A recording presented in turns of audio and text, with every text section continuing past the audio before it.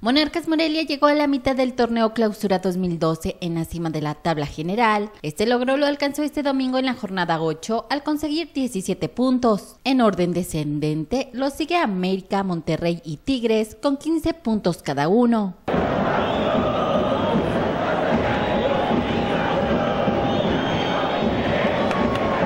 En el actual torneo el equipo de la Fuerza lleva cinco partidos ganados, dos empates y solo una derrota.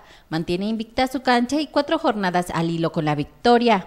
En el torneo Apertura 2012, Miguel Sabá es su líder de goleo con seis goles. El equipo de la Fuerza tiene un total de 12 aciertos a favor con siete en contra.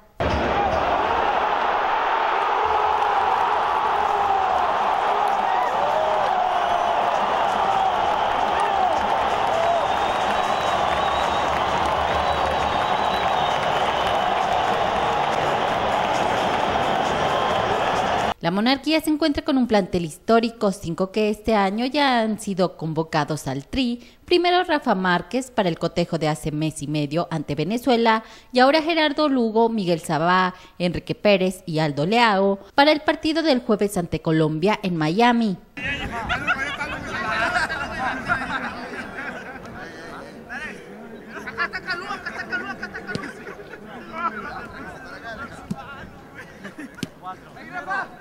Adrián Aldrete, Enrique Pérez, ambos defensas, y Federico Vilar han sido pilares para los encuentros con 720 minutos de las ocho jornadas jugadas. Morelia es un equipo muy balanceado en todas sus líneas, han confirmado porque es el mejor hasta la jornada 8 del torneo.